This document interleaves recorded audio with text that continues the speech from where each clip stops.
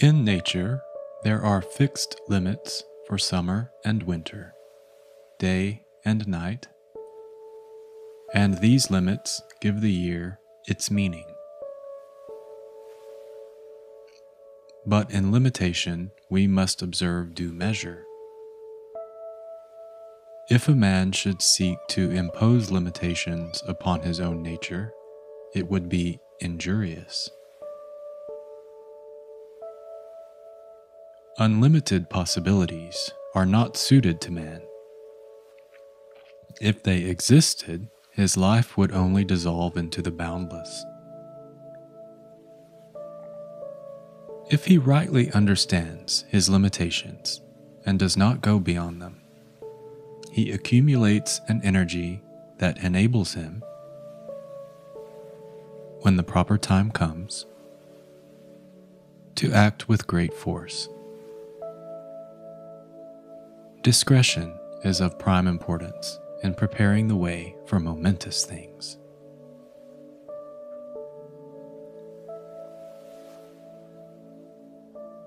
These are words from the 60th hexagram in the ancient Chinese I Ching, or Book of Changes, by Richard Wilhelm, translated by Cary F. Baynes, with minor modifications by me.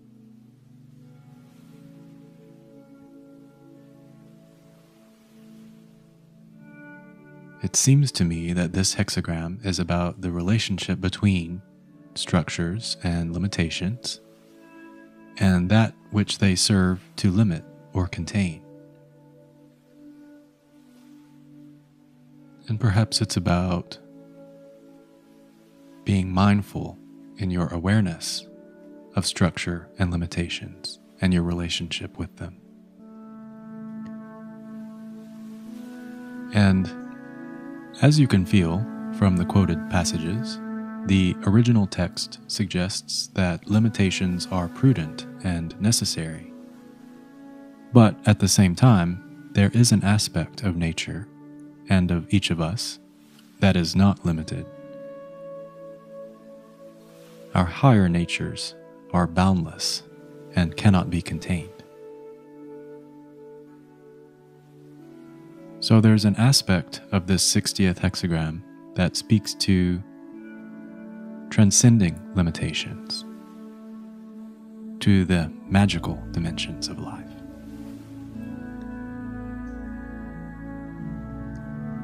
I need to confess that I have a hard time accepting limitation.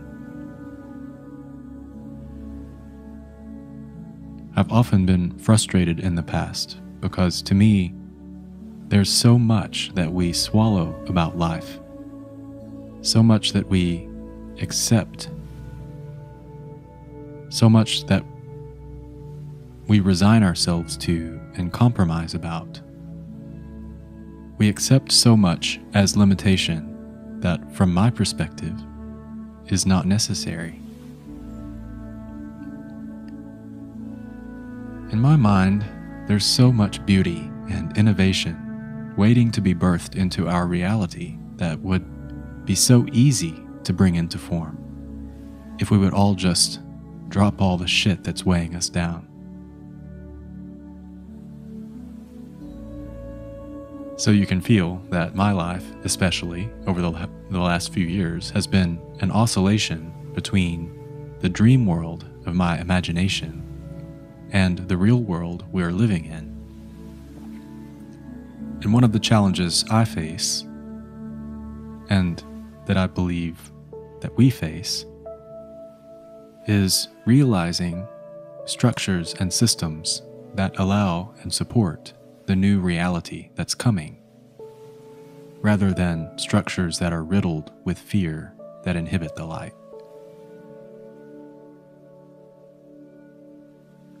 Don't get me wrong, many of our structures are brilliant, and many of them have truth and light as their essence.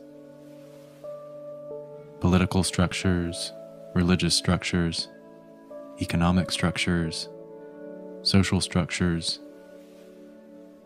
Many of these were born with good intentions. But it seems to me that over time, many of them have become obscured by so many things. But all those things, mostly, distill down to just one thing fear.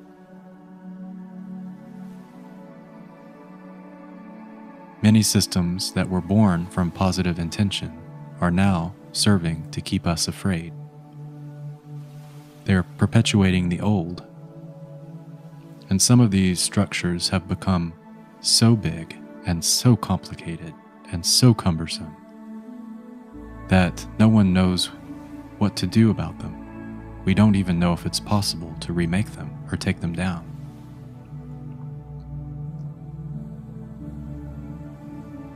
In the gene keys synthesis, the energy of this 60th gene key moves from the shadow of limitation to the siddhi of justice, and it's the path of realism. Richard Rudd articulates that the law of all form is that no structure can last. Each and every one of them comes programmed to eventually decline and die. Many of us don't want to hear that or face that fact. The 60th shadow of limitation concerns the human over reliance on structures and the consequent death of something very special indeed magic. While magic is spontaneous, highly mutative, and unpredictable, the 60th Shadow's single purpose is to control the flow of magic of life and to prevent anything original from occurring. So you see, this is precisely what I expressed earlier in this contemplation when reflecting on my own experience. It feels to me that many of the structures of man that we are subject to today have become so burdensome and heavy that they inadvertently prevent magic and innovation and evolution from being realized in our experience. The 60th shadow creates an over attachment and over reliance on form instead of highlighting the indwelling spirit of new ideas. The 60th gift of realism is the ability to balance youthfulness and wisdom, idealism with structure. It's about creating and using structures, whether they be physical or social or mental or emotional or political structures, to serve our expansion and evolution. It's about using structure to transcend structure. Some who hear this contemplation may find it curious that this gift is named realism.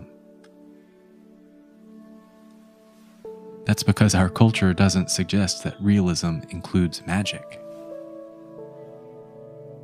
Said differently, we don't tend to believe in magic or that magic is real. But realism, in its truest sense, must include magic. We know from modern physics that all matter is made up of vibrating energy fields, and therefore, all the structures that we perceive in our material reality to be solid are actually more like illusions. Solid matter is actually made of vibrating fields of energy and light. Everything in creation is truly magical.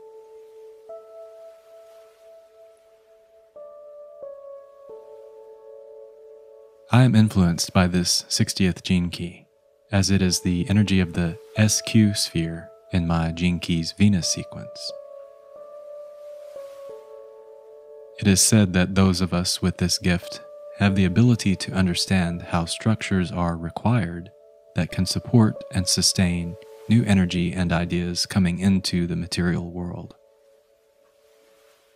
It's the ability to work with the existing laws and limitations and traditions and introduce change through them rather than in spite of them. And the SQ in the Venus sequence represents your spiritual quotient. It's one's ability to remain connected to the spiritual heart of life. It's calculated by the position of the planet Venus, 88 degrees or about three months before your birthday. And the SQ, it said, governs our mythology, the unconscious contours of the longing of our souls to return home. So, contemplating the SQ is a journey of retrieval and recovery of the eternal flame of unconditional love inside each of us.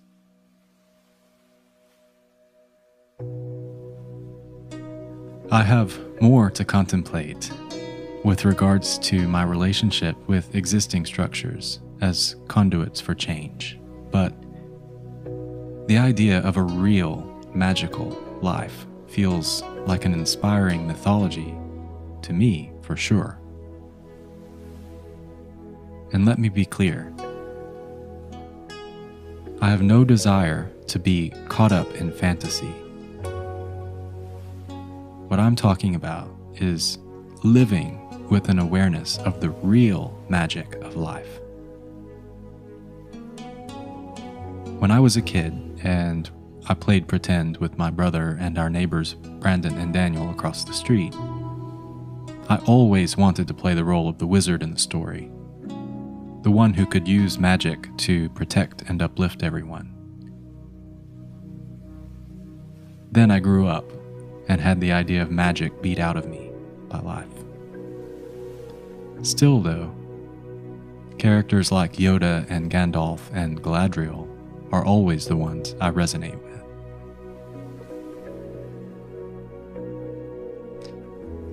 In many ways, it feels like I'm growing young again in recent years.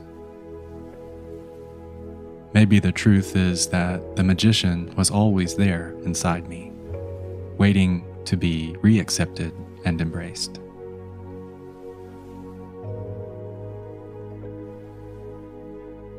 My encouragement to all of us with this contemplation is to always remember the spirit of magic and wonder in life, and to encourage our children to not lose sight of the magic.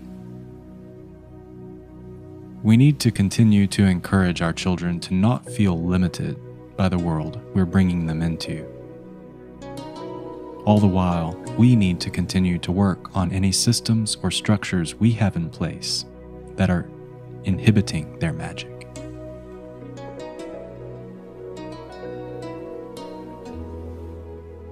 In this way, I know that we'll find a way to bring the magical dimension of life back into the real world.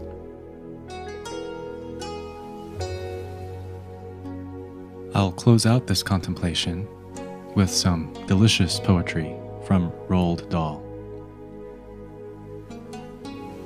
Above all, watch with glittering eyes the whole world around you, because the greatest secrets are always hidden in the most unlikely places. Those who don't believe in magic will never find it.